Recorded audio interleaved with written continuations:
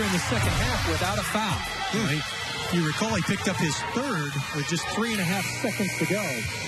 But that guy right there, Marcus Johnson's been the key to Samford's success here during the run. Stephon Jelks back in. He has a double-double shot clock now at two and one. And that's your go-to guy, Jestin Lewis. Good grief, what a night. 24 points.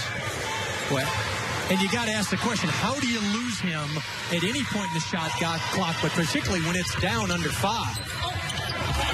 And there's the drive again. There's Jones Gibson. If you're guarding him, he's going to be driving in there. Take a step off. Let him try to step up and beat you with the jump shot. Strawberry's a cool customer.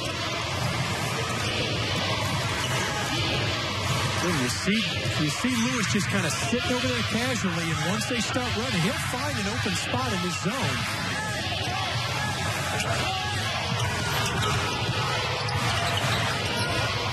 Jelks knocks down another one. Already a double-double for Jelks tonight. Has 17 points to go with those 10 rebounds. Philip, three assists just for good measure. Absolutely. And Philip Leonard with another nice assist. He has been really key with that when they've needed it. Shabazz off the glass count that one. Again, holding his ground is Lawrence Brown, but boy, he took a shot. Look at it again right here. Nice extra pass by Cunningham. Brown trying to do his best impersonation of Alex Peters, but doesn't have time to just set his feet out there.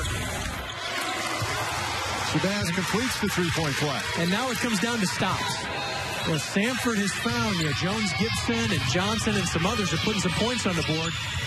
They've got to string some defensive stops together. 15 points for Shabazz. Still plenty of time for Samford. Just under six minutes to play.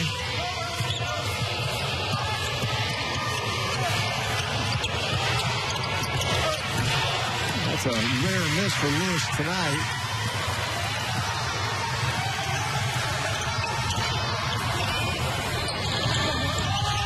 Marcus Johnson. A shot, and that goes down. With some contact. Seven-point game. Bulldogs in the bonus.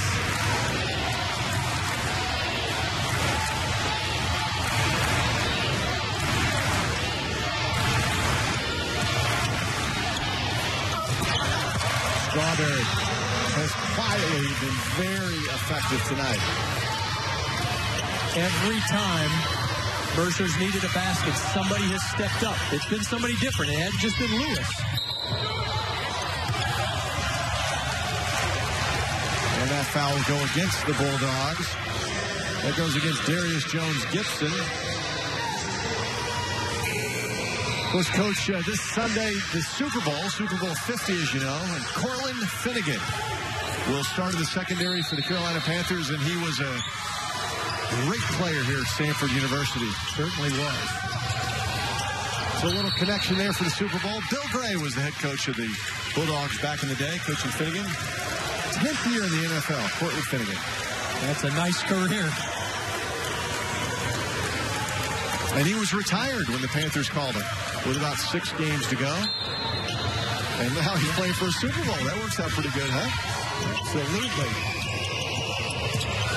Now, this isn't quite the Super Bowl, but these teams are playing like it right now. Jelks, what a night for Stephon Jelks, second-year player from Marietta, Georgia. Boy, 20 points, 10 rebounds. What a night. And everybody said he was too small to play at a higher level.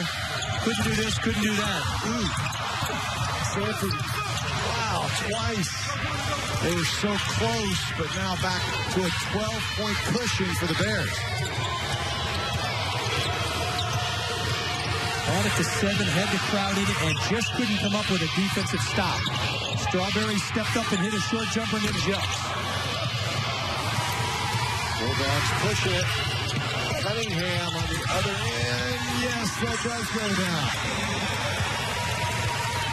Ball rolled around a couple of times before it decided to go down.